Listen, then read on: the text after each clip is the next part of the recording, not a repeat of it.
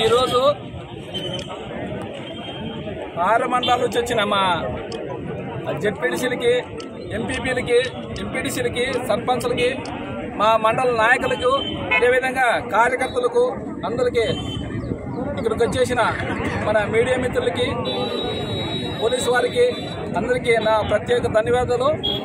ఈరోజు ఈ కార్యక్రమం పెట్టడానికి పెట్టడానికి మనము మాజీ ముఖ్యమంత్రి జగన్మోహన్ రెడ్డి గారు తిరుపతి వెంకటేశ్వర స్వామిని దర్శించుకుందామంటే ఈరోజు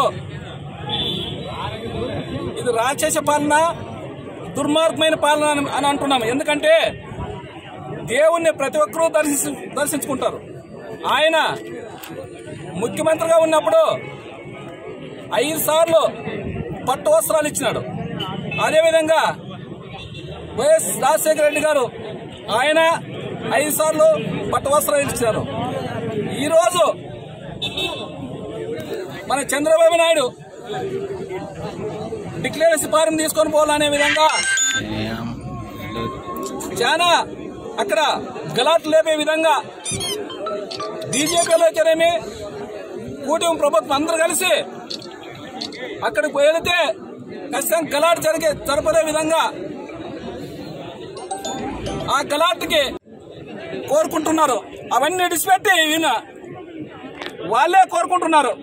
సిబిఐ అయితేనేమి సుప్రీంకోర్టు జడ్జి ద్వారా కానీ హైకోర్టు జడ్జి దగ్గర కానీ వాళ్ళే ఒక కమిటీ వేసి వాళ్ళ ద్వారా ఇది నిజాలు తేల్పాలనే విధంగా ఈరోజు మా పార్టీ నాయకులంతా కోరుకుంటుంటే అదే చంద్రబాబు నాయుడు గారు సిట్ ఓపెన్ చేసి సిట్టుతో సిట్టుని పెట్టి సిట్ అంటే ఏమి? ఆయన ఏం చెప్తే అది నేవారు సిట్టు.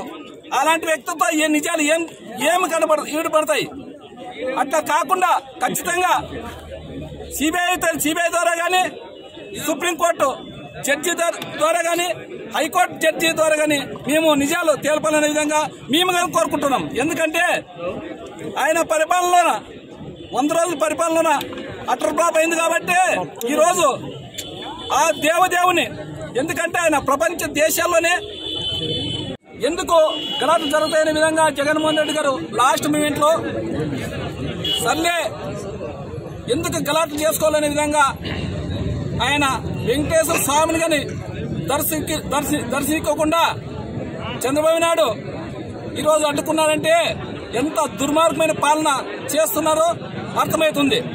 లడ్డు విషయంలో వాళ్ళకి ఏమి దొరకలేదు.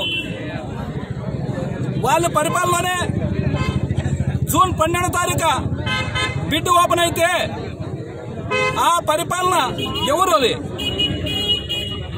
జంతు కొవ్వులు కలిపినారనే విధంగా జగన్మోహన్ రెడ్డి మీద- అపోహలు చేసేదానికి వస్- చూస్తే ఈరోజు అది వాళ్ళకే రివర్స్ అయ్యి ప్రజలందరూ ప్రజలందరూ వ్యతిరేకిస్తుంటే దాన్ని ఎట్లా డైవర్ట్ చేయాలనే విధంగా ఈరోజు జగన్మోహన్ రెడ్డి గారు దర్శనం చేసుకుంటామంటే దాన్ని డైవర్ట్ చేసి ఆ దాని మీద డైవర్ట్ చేసే విధంగా ఈరోజు చంద్రబాబు నాయుడు గారు చేసినాడు.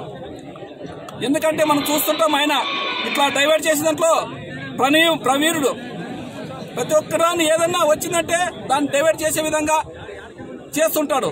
ఇదే ఈరోజు మా జగన్మోహన్ రెడ్డి గారు మా వైవి సుబ్బారెడ్డి అందరూ ఆయన కానీ మీ వాళ్ళు సుప్రీంకోర్టుకి సుప్రీంకోర్టు జడ్జి దగ్గర ఆయన ద్వారా అది నిజాలు తెలపాలనే విధంగా కోరుకుంటున్నారు.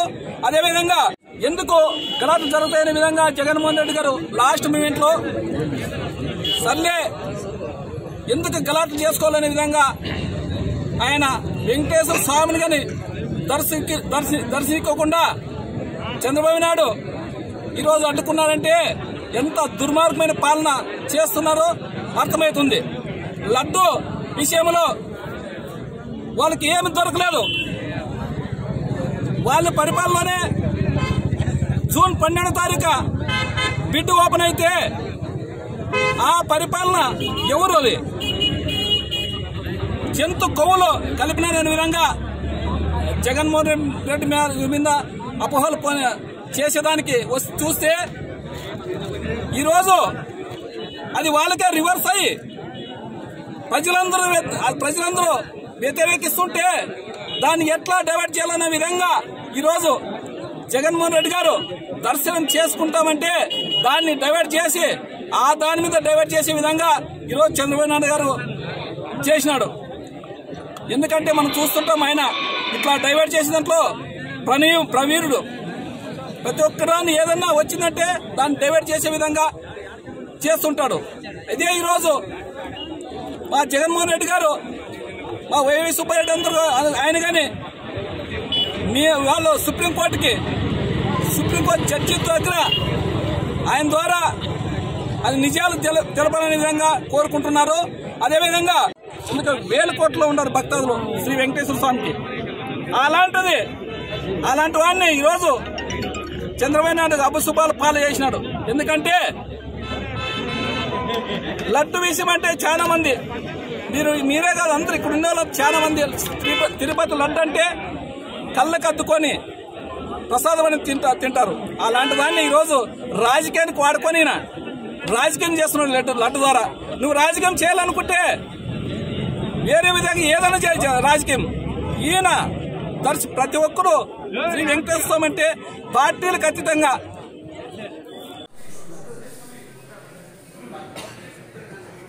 ధాతాయ వై మనోన్మనాయ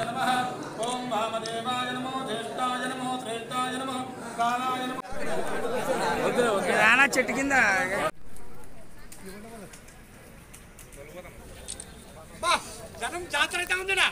జనం జాతర అయితే ఉంది వాడి అమ్మంతగా